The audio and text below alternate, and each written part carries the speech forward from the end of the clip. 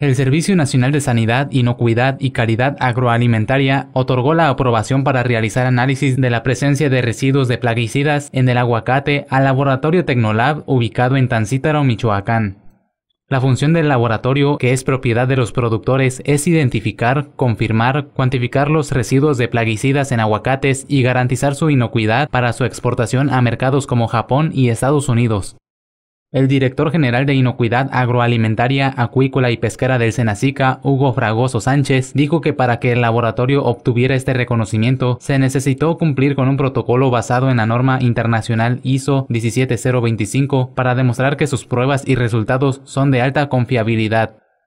El laboratorio Tecnolab de análisis de residuos de plaguicidas de Tancítaro es el segundo en México que obtiene este distintivo para la exportación de fruta y que cumple con los requisitos que exige Japón y el primero construido por productores.